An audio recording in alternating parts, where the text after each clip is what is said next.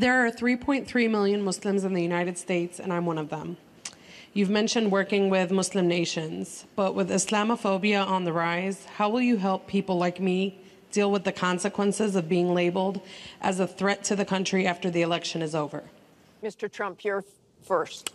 Well, you're right about Islamophobia, and that's a shame. But one thing we have to do is we have to make sure that because there is a problem. I mean, whether we like it or not, and we can be very politically correct, but whether we like it or not, there is a problem. And we have to be sure that Muslims come in and report when they see something going on. When they see hatred going on, they have to report it. As an example, in San Bernardino, many people saw the bombs all over the apartment of the two people that killed 14 and wounded many, many people.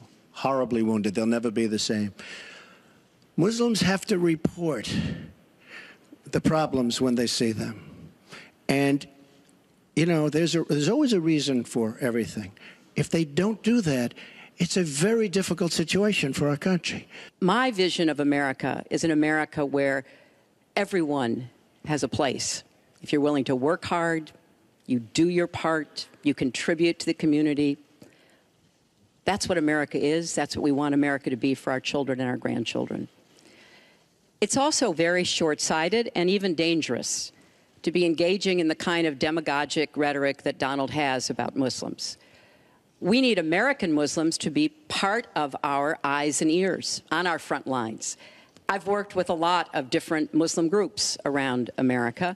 I've met with a lot of them, and I've heard how important it is for them to feel that they are wanted and included and part of our country, part of our homeland security. And that's what I want to see.